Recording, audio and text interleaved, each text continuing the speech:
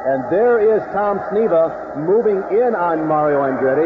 Right now, Sneva is behind Mario, as Bob mentioned, by 11 points. And he's trying to gain a few markers on Mario right now. That's Mario on the left-hand side of your screen, the bright red. And we have a crash in turn number three. Two or three cars involved in between turns three and four. It looks like John Paul Jr.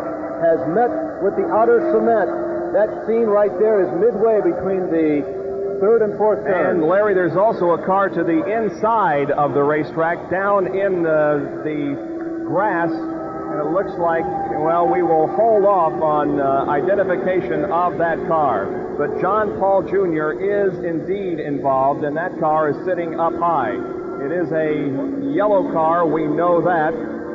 But we will again hold off on any positive identification until it is given to us by the CART officials. The safety vehicles have arrived on the scene as the pit stops are being made. Johnny Rutherford is in for his pit stop, and so is Mario Andretti as we get a good look of him as the pit crew goes to work on that car, fueling it up.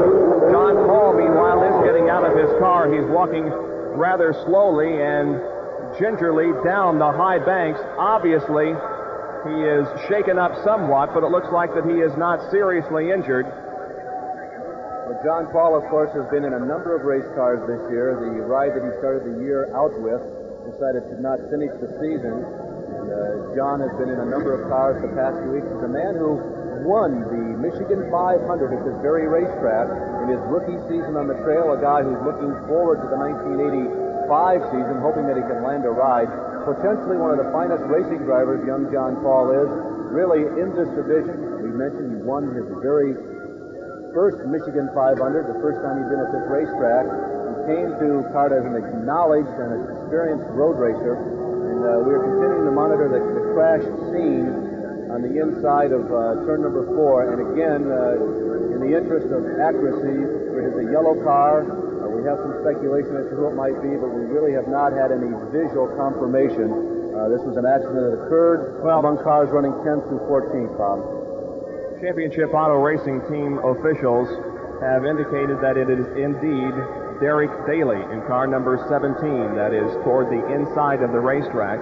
The ambulance has arrived on the scene. You can see the workers still trying to get him out of the car, but this uh, situation of a driver being trapped in the car really means nothing because the cars are made to break away and to perhaps uh, hold the driver in the car, but it doesn't mean that he has suffered any serious injuries. We certainly hope not, but we will keep our eye on that situation. So the yellow flag is out after 28 laps of the Detroit News Grand Prix. The leader is Johnny Rutherford, and most of the leaders have now been in for their pit stop. Second is Mario Andretti. Third is Tom Sneva. Fourth, Al Unser Jr. And running in fifth position is Al Unser Sr. That's the way they stand at this point.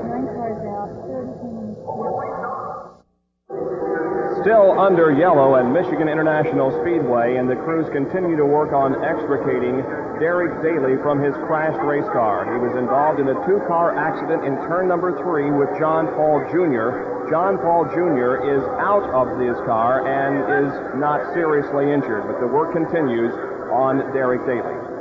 Well, Danny Sullivan out on the racetrack motoring on under the caution flag has been talking with his crew the last couple laps, so we'll see if we can uh, tune in on Danny. Danny, this is Larry Nuber up in the ESPN control booth. Can you read us? Uh, yeah, I hear you. I'm sorry you're a little bit faint.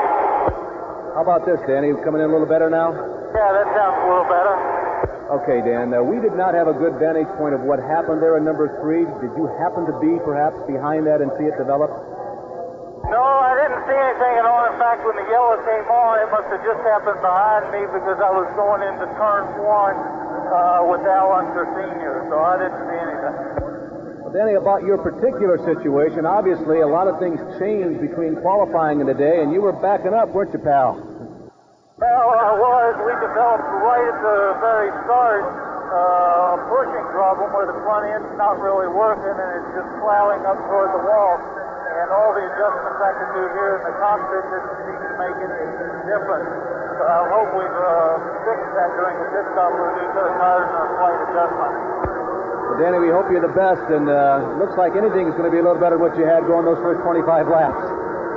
Well, I sure hope so. We got a lot of catching up to do now, but uh, hopefully everything will go well. Okay, Danny, we'll let you get back to work. Thanks. Thank you. An update in turn number three. Derek Daly has been taken from his race car. He is under the best of care. Dr. Steve Olvey is the CART doctor who is right there to the left of your screen in the blue. There is an excellent medical facility here at the uh, track itself. He will be given preliminary medication and check over there. If the injuries are so serious that he must be transferred to another hospital, uh, they can do it either by uh, ambulance or they can do it by helicopter.